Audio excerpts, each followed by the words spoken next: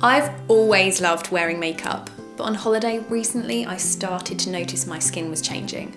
So I made a resolution to give it some more attention.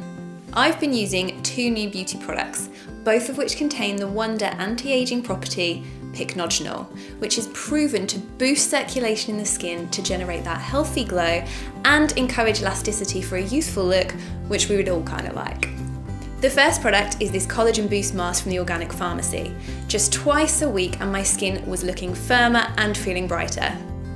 The second product is this Skin Shot from Beauty & Go. Just one daily shot and after 10 days the difference was real. Plus I love knowing that I'm nourishing my skin from the inside out.